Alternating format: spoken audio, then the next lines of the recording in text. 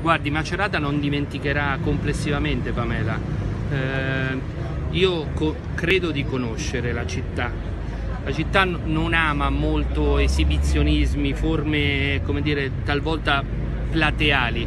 La città da questo punto di vista riconosce la pietas, riconosce il dolore in un modo molto discreto e al di là delle, delle ripeto, delle, dei modi con i quali, le modalità con le quali si esprime come dire, la condoglianza, la vicinanza Macerata, vi assicuro che davvero avrà segnata la propria, la propria storia da questa morte molto cruenta e davvero ingiustificata.